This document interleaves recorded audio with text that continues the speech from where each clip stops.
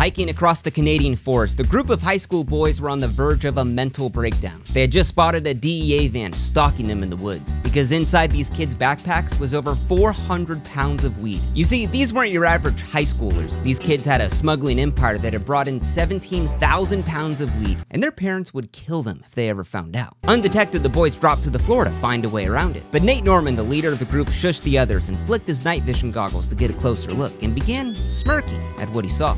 These DEA agents they were so afraid of that could end everything that night were asleep in their van this entire time. And as the boys snuck by and made it home safely that night, Nate Norman, the leader of the group, had just made the easiest money he'd ever made in his life half a million dollars. In 2001, two rival groups of high school nerds became the biggest drug smugglers in the United States, evading the DEA, FBI, and Border Patrol for years. They had smuggled in 17,000 pounds of weed, making $32 million. But through jealousy, betrayals, and shady deals, their empires would fall apart before any of them could legally drink. This is the true story of the nerdy teens who became drug kingpins. Now, Nate Norman wasn't exactly a criminal mastermind. As a broke 19 year old high school dropout working at Pizza Hut living in his mom's basement in Idaho, the closest he'd ever gotten to organized crime was watching Scarface on cable. Because with no degree and a dead end job, the American dream felt so far away for Nate Norman. Change one day when Nate and his buddy Topher were smoking a J, flipping through Times Magazine and stumbled across a story that would change their lives forever. Canada had the best weed in the world, BC Buds, and smuggling BC Buds across the border? Oh, it's a $7 billion business. Wait a sec, Nate thought. Idaho's right next to the Canadian border. Now, while people knew Nate delivered pizzas around town, he also delivered sex. Although Nate's prices were high and his bud quality sucked. But knowing that the best buds in the entire world were just a few hours away, oh, Nate could sell the hell out of it if he could just get his hands on it. So that's when he turned the Topher and said, we should become international drug smugglers. Now, while this idea of a criminal enterprise sounds great to a 19 year old, a pound of weed costs money, and they were both broke. Pizza Hut didn't pay great, and Topher worked part time at Castle Park. But Topher, believing in his best friend Nate, sold an old boat he had dragged out of the lake for 1400 bucks, and assuming that was enough to buy a pound of weed, the two head on the Canada with what was their life savings. But after coasting through the checkpoint, they quickly realized Canada was not what they thought it was. See, High Times made it seem like people sold pounds of weed on the side of the road, but it really just looked like the US, except kilometers. What the fuck? So empty-handed after hours of searching for a vendor, the two head into a Canadian bar to at least make the trip worthwhile. Maybe Nate's plan was too ambitious, he thought. It, it almost seemed too easy. But old man Frankie, a regular at the bar, gestured at the two Americans sticking out like sore thumbs. As Nate and Topher walked over to him, they said, Could you help us procure a pound of flowers? One pound? Frankie said he had dozens, of Canada's finest, but it was all back at his apartment. And while Nate and Topher tried to contain their excitement, thinking this was their big connect for BC Buds, well, Old man Frankie had just found his next victim. But inside his crappy apartment, the two realized Frankie actually seemed a bit sketch. But I mean, the, where else were they gonna go? They were desperate. How much cash you got? Frankie said. For 1400 is, is that enough for a pound? That's perfect. That's exactly what a pound costs, Frankie said. But as Nate opened up the bag to get a whiff of those BC buds he had traveled all this way for, Frankie tells him that wouldn't be wise. I mean, they didn't want to get caught from the smell. So without even Wayne smelling, or barely even looking at it, the two hand over what was their life savings to a sketchy grandpa they just met at a seedy Canadian bar. And with the pound of BC buds in hand, they begin the hardest part now, trying to get home. Now, according to High Times, the Canadian border is five times longer than the Mexican one. But there's no fence. I mean, you walk in the woods, next thing you know, you crossed international lines. And while thousands of smugglers hid weed in horse trailers, snowmobiles, sailboats, hollowed out logs, hell, even underground tunnels, hiking weed across the border was just the easiest, but also the riskiest. So the plan? Nate was gonna drive back home by himself, while Topher would smuggle their precious cargo, hiking 7 mi 11 kilometers across the Canadian wilderness filled with bears by himself. Hours later, with dirt on his face, Topher saw his first sign of American civilization. Outback Steakhouse, where there's no rules. It's just right. With Nate parked outside, Topher hopped in for a celebratory smoke of their freshly smuggled BC buds. It seemed like the plan had worked. And it had all gone well. But after the first hit, something was off. This wasn't the creme de la creme BC buds. No, Frankie had sold them Mexican brickweed at BC bud prices. Or in other words, this should have been $400 a pound not 1400. Frankie had sold them buds that were grown in Mexico, smuggled into the US, smuggled into Canada, and then smuggled back down to the United States. And that's when they learned you can't trust anyone in the game, including the ancients, the elderly, and the weak. But luckily enough, the weed drought in Idaho was so bad they could actually still make money on this. Nate hit up his old friend Scuzz to have him sell it on the streets, and Scuzz was a connected dude even at 18 years old selling it to every hood rat in Coeur d'Alene, Idaho. Days later, Scuzz came back with 2,800 bucks, double what they had bought it for. And with his business model proven to work, Nate turned the Topher and said, High Times was right. Why doesn't everyone do this? Because according to their calculations, Nate and Topher were shocked to find out they could make $3 million in just 14 months by doubling their money with every smuggling run. And to them, that seemed like enough. Because with 3 million bucks in hand, the two could buy homes, start a business, and leave the game while they were ahead. Because when drug dealers get caught, it's always because they get too greedy and give themselves away, but that wasn't gonna be them. They promised to themselves no guns, no girls, nothing flashy. But little did they know that once you're in the game, there's no easy exits. Because while the rewards are great, the risks are even greater. With one pound became two, became four, became eight, and Nate was growing more comfortable driving thousands of dollars through the Canadian checkpoint, you know, flashing a little disarming wave and a little lip smile. But today, as he coasted through the Canadian checkpoint driving the Creston Canada, Nate really thought about it. This was the ticket out for him. He didn't need college. Hell, with a few more smuggle runs, he could buy his mom a car, and if he found a good grower, oh, Nate could make the big bucks. But then in his rearview mirror, he spotted those Canadian red and blue lights. Sirens grew louder. Nate Norman was getting pulled over by the cops. With American license plates, he knew he stuck out like a sore thumb. As the Mountie parked his car and stepped out, every step he took, Nate could only think about how more he was. But as he rolled down his window, the Mountie said, So hey, you guys smuggling? Well, because you're not gonna get any flour going to Creston. It's a bunch of loggers. You need to go to Nelson. Don't speed, this is a little warning. Yeah. Getting let off the hook and even a tip on where to find the holy grail of BC buds, Nate was totally wrong. Canada was way different than the United States. Now, bigger than tourism, logging, hell, even maple syrup. In 2001, BC Buds was a $7 billion a year business in Canada, and Nelson was the capital of it. But why? Well, Canada had some of the most relaxed bud laws in the world at the time. I generally feel there's a slightly more uh, humanitarian government around here it's not into putting people away for the rest of their life for their choice of herbs. And hydroponic stores that sold tomato growing equipment sprawled all around the city, and the result was the golden age of BC buds that were sought all around the world. And for Nate, this is what High Times was talking about. So walking into several Canadian hydroponic stores, Nate finally found the real BC bud growers that could get him the product to bring down serious weight to the United States. And for Nate, the money would begin pouring in, while millions of Americans were just baked out of their minds with with cottonmouth. But not anymore with today's sponsor, air up. Arup ain't any other water bottle. It's a completely new way of drinking. It adds flavor to the water through the power of scent, and this thing is fire. Now, when I first tried this, this thing tripped me out because it tastes like it's flavored water, but you don't actually put anything in the water. So how does it work? Using the flavored scent pods that come in 15 flavors, you fill up the air up bottle with any type of water, pull up the pod to activate. Now I got raspberry lemon water on the go that tastes great with zero calories. And best of all, there is no tablets, there's no powder to put in, meaning I don't have to clean this thing with the bristle trying to get all inside. No, it's just good to go all the time. No joke, ever since I got this, I've already dusted an entire pack of these in about a week. Yeah, I would say I like this a lot actually. So get yourself an air up bottle, get yourself some flavored pods, and see which one's your favorite because I'm loving the raspberry lemon.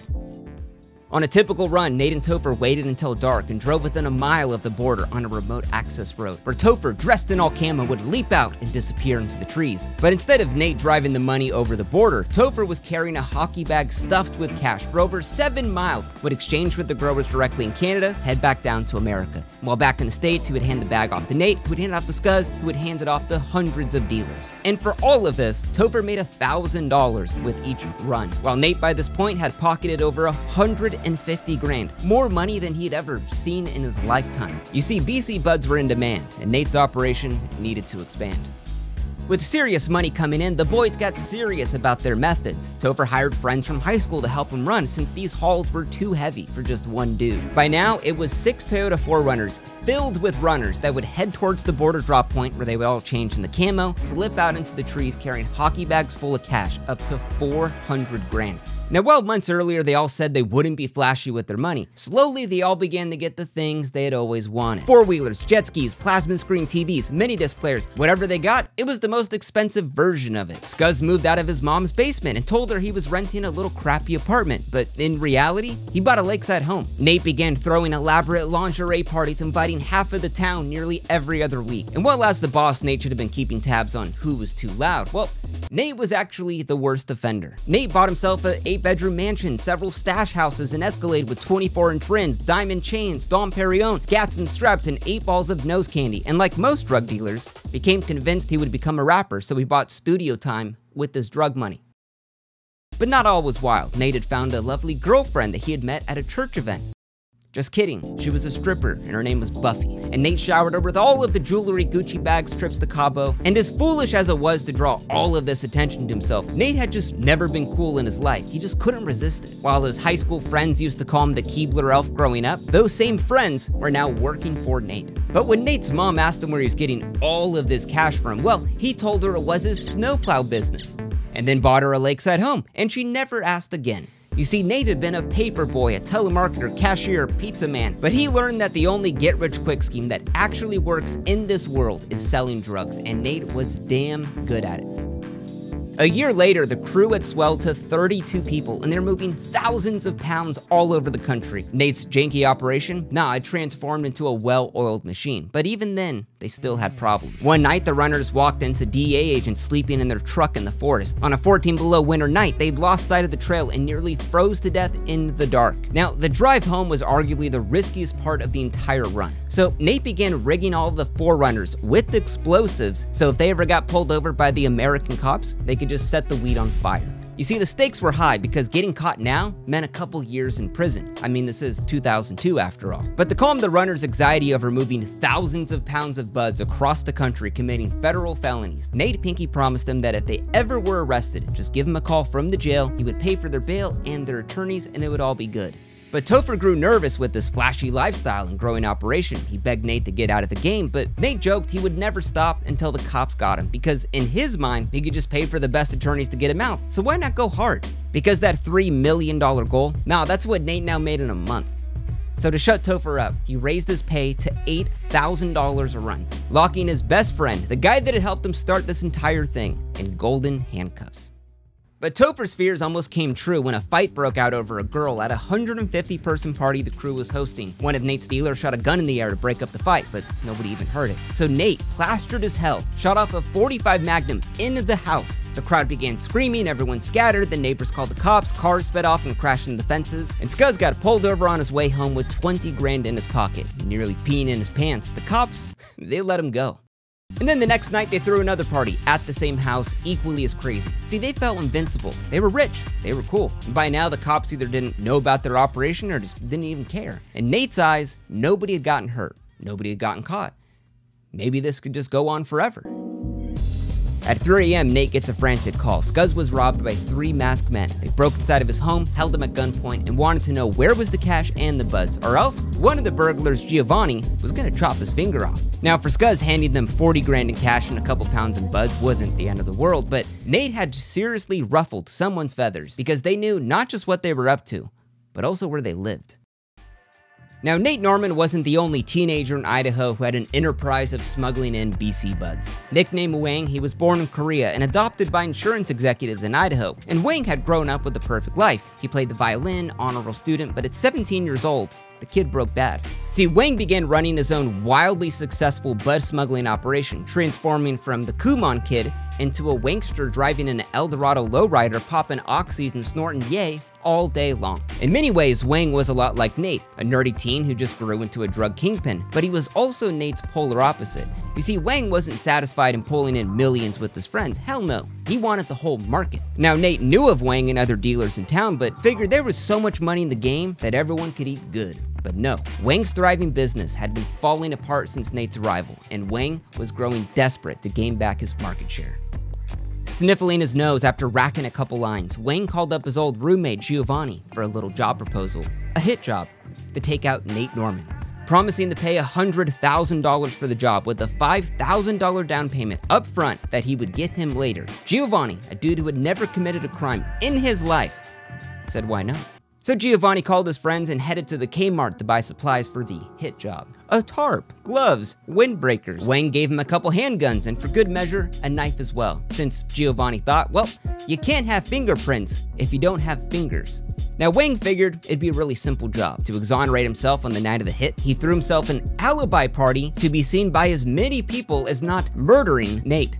But instead of Giovanni doing the hit that night, they broke into Scuzz's apartment, stealing the pounds of bud and 40k in cash, because Giovanni still hadn't received that $5,000 down payment yet. So we thought, why not make some extra money robbing Nate's crew first and then murdering Nate? Makes sense. Now, when Nate heard about Scuzz's robbery, he figured it was the cartel or maybe some other gangbangers in town, but he didn't even realize he was in a turf war with the only other nerdy kingpin in town, Wang. And for the first time, Nate was truly spooked. He moved out of his house, he rented another one across town, he started sleeping with the loaded handgun under his pillow, and Nate would try to lay low the rest of that summer, moving in with Buffy. But after breaking both of his arms flipping over his dirt bike, Nate developed a serious addiction to painkillers. And even worse, Buffy couldn't even take care of him because she had gotten a boob job. Nate was living in fear, addicted to painkillers, and worst of all, his girlfriend had really big boobs.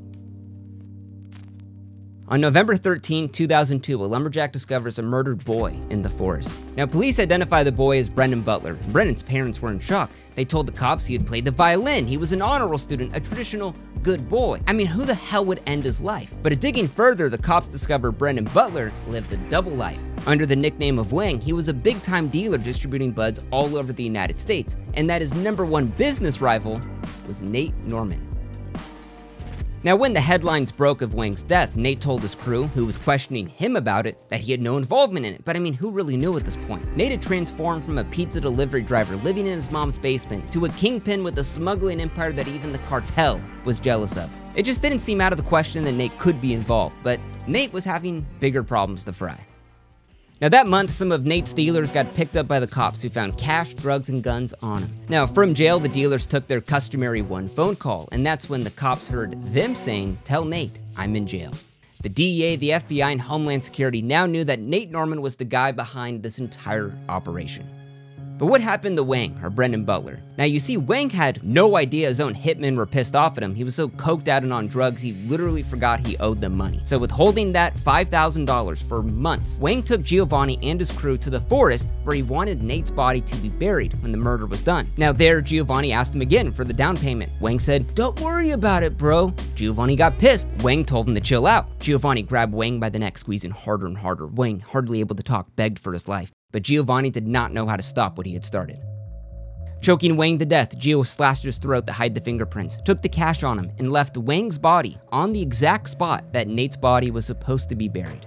But now with the body being found and the murder and the fingers and the money, Nate knew it was probably time to step out of the game. Now, with the heat on Nate's crew thinking that he could be responsible for Wang's murder, all of the runners would meet at a stash house at dawn to pack up all of their things and skip out of town. But instead, when they got there, they kicked around, smoking weed, reminiscing on the good times. And then right then and there, across four states serving six warrants, the FBI arrested runners, managers, dealers, everyone except for Nate Norman.